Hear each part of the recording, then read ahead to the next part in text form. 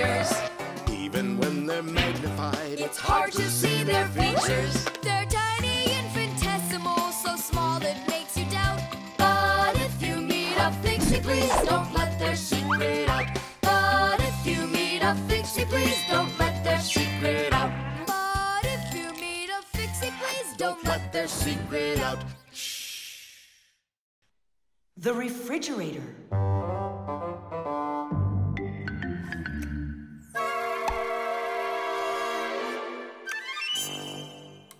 Good job. My homework is all done.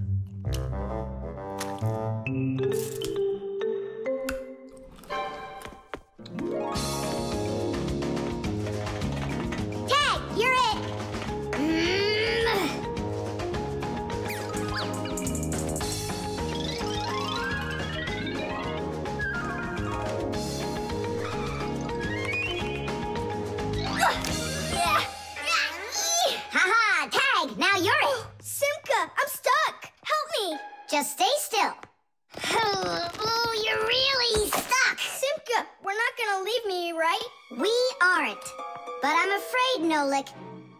Stuck for a while. Tom Thomas! Help me! What's going on? Look, this blob of white stuff grabbed onto Nolik and it won't let go of him.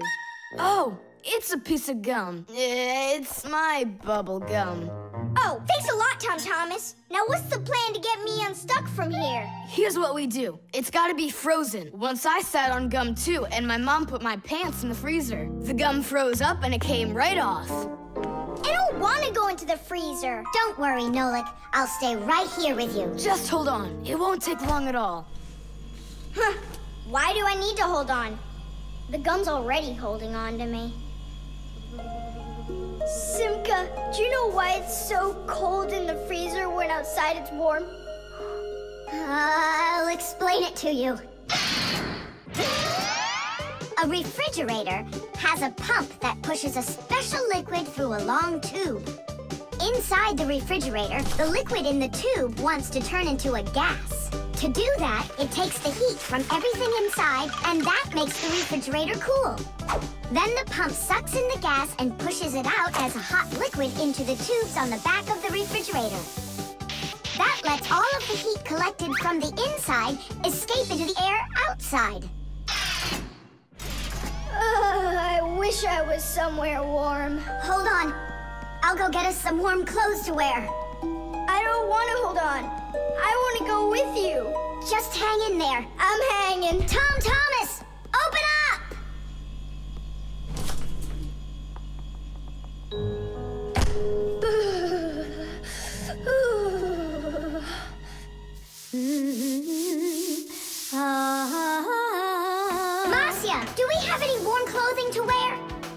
the world do you need it? I just do. Well, I need to know what is happening.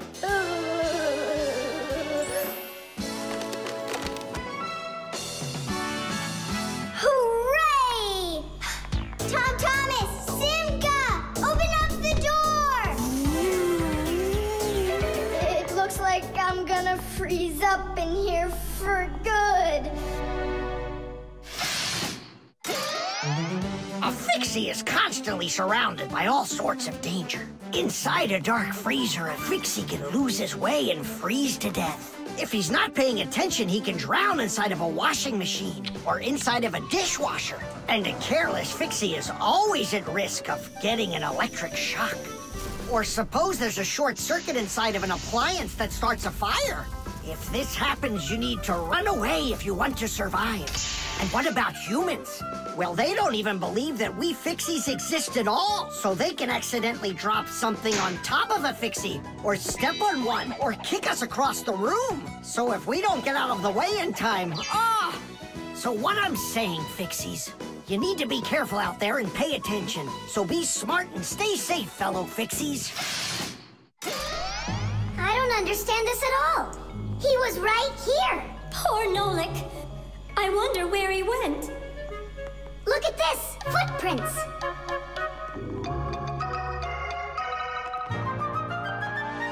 Nolik, you're alive! You scared me half to death! How did you get out of there? Well, you told me about how a refrigerator works. works. And so I found that cold tube and started crawling on it until it got hot, and then I was here. Hey, there's smoke coming out of you. We need to cool you down right away.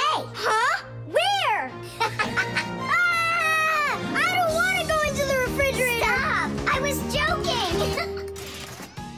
Look how it froze. I could break my teeth on it. you aren't gonna chew it anymore. I'd never do that, not after Nolik sat on it.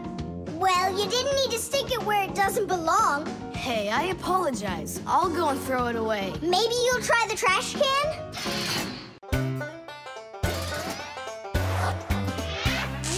Fixies go to fixie schools and study to be masters. There's so much they need to learn To save us from disasters.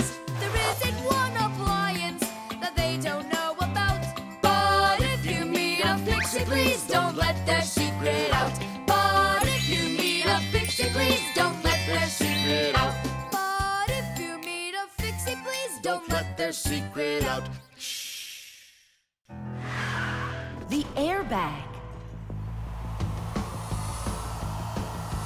We're gonna be late. We'll make it.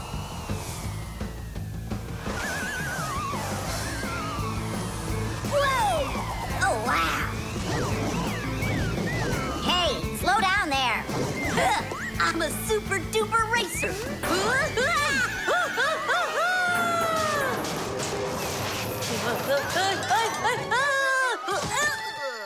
Well, well, Fire. Again, risking your life. And super racers like me can always count on luck. You know, Fire, counting on good luck is stupid. It would be better if you would keep your mind on safety. Actually, today, Professor Eugenius has something really special to show us. He's going to be testing an airbag. Uh, what's that? Digit, explain it. Everybody riding in a car has to wear their seatbelt because if the car has to stop quickly, the belt will hold the person back. But there are times when even seatbelts don't give enough protection, like when a fast-moving car crashes into something. When that happens, the driver and passengers can be protected by an airbag. You can't see them when they're folded up because they're hidden. But if the car is in a crash, the airbags blow up very quickly. And the person bumps into the bag instead of banging into the steering wheel or flying through the windshield.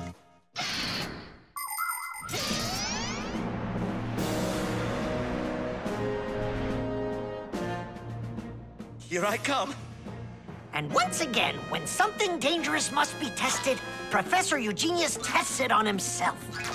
But Grandpus, aren't you scared that it won't blow up with air? Don't worry about the air. A three, and a two, and a one.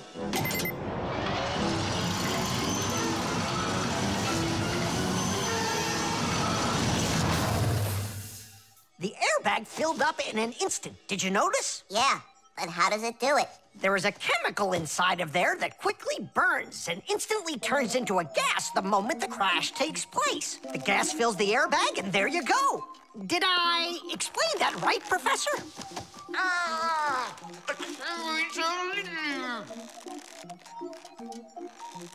We've got to get him out. Stop! We'd better call for help.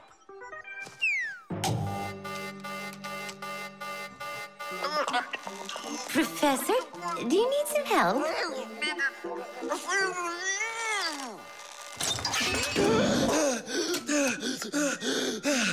Thank you, Elisa. Sorry to take you from your work. You're free to go. Professor, how did you manage to press the button from way over there? Uh, I managed to hit it on the fly. You are just astounding. To keep small children safe while they're riding in a car, they must be buckled up with a seatbelt inside of a special booster chair. But kids also need to be careful when they're riding a bicycle, skateboarding, roller skating, riding a scooter. First of all, it's best to keep off of roads where there's too much traffic. Second, put your protective gear on. For your arms and legs, wear elbow pads, gloves, and knee pads. For your head, wear a helmet. That way, if you fall down, you won't get badly hurt. And third, make sure that people can see you. If you're out riding in the evening, your clothes and bike must have safety reflectors on them. They let drivers see where you are by reflecting the light from their headlights back at them. Remember, better safe than sorry. Here we go. Well, I hope this time I've got it. Should we call his assistant right now, just in case? Let's just wait and see. Ready, set, go! Grandpus, he needs to be rescued. Uh, no need. I made a change to it. Now the bag not only inflates automatically, it deflates itself as well. Splendid! As you fixies say, Tish! Today's lesson is done. Hooray! Come on!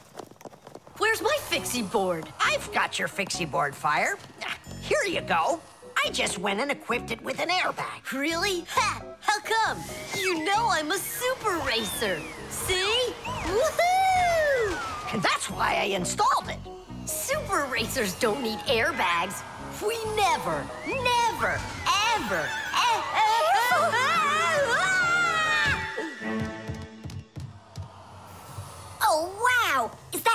cool or what? It's a very original design you used there. That design is my own, and Fire ran the test. Professor, will you make an airbag for each one of us? You all will get them real soon. But even so, Caution and care make accidents rare. But if you meet a fixie, please don't let their secret out.